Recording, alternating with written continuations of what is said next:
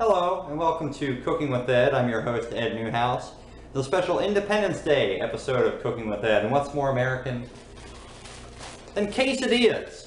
Today we're making a, a, uh, a Mexican favorite. Um, that there's a lot of different ways you can make it. A lot of, you can you can microwave it, you can fry it. Uh, well, by the fact I mentioned it, you can tell I'm going to microwave it. So let's get started here. Uh, first, you got to grab your plate and your flour tortilla. You gotta put the flour tortilla. All right, we're, we're gonna do two of these at a time. You can, that's as many of these as you can make at a time.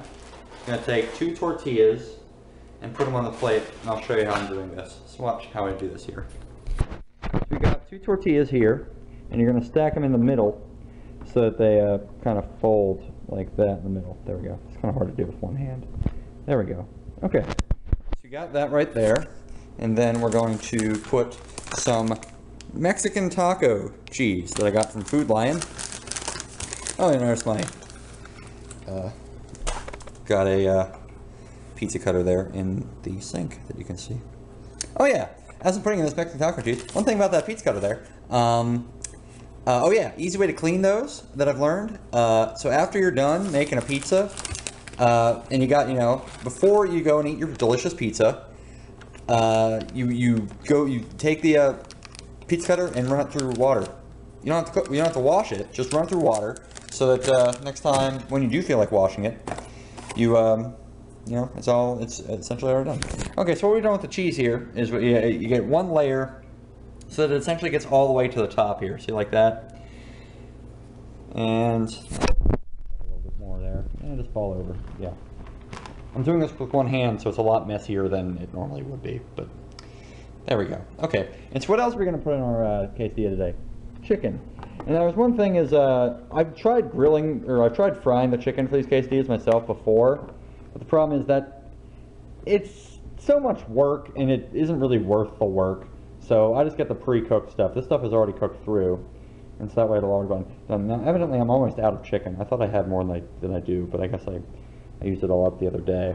But um, just put a little bit of chicken, much as you have be a lot easier if I had both arms. Okay, there's that. All right, so now we've got that.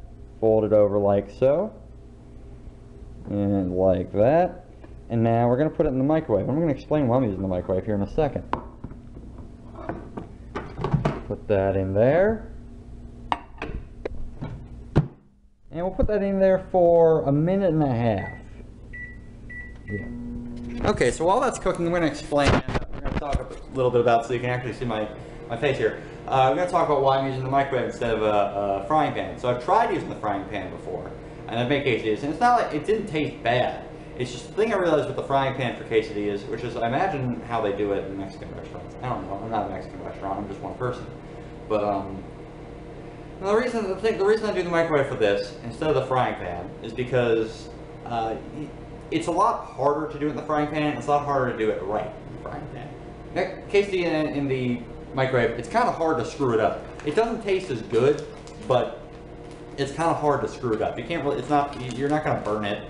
And, uh, yeah, so that's why I normally, that's, that's the thing about using microwave. Overall, not just quesadillas, uh, it doesn't burn it, which is the plus. And, but it doesn't taste as good. But so I'm willing to forego the, the, the loss in taste. Anyhow, now we're just waiting on that to finish. Uh, oh yeah, so yeah, when you're, you're when you're cooking it on the, on the frying pan, uh, advantage of doing that. Uh, the outside is crispier, uh, and you can get a little butter. You can put it in the pan, and you get the little buttery taste on the outside. But this you don't have that. This is the microwave doesn't make it very crispy, but you essentially the reason I'm eating the quesadilla is not for the tortilla part. It's for the cheese and the chicken if they do have. Oh, let's get some chicken right here. Now, ooh, that is hot. Let's see here. I want to show you this. You know it's done when one, two, yeah, you look on the inside, cheese is all melted. Cheese is all melted, that means we're done. So, I was setting the camera back down and accidentally turned it off. So anywho, uh, this is our finished product. Let's see how it tastes. That's fantastic. Thanks for watching Cooking with Ed. I've been your host, Ed Newhouse. Goodbye.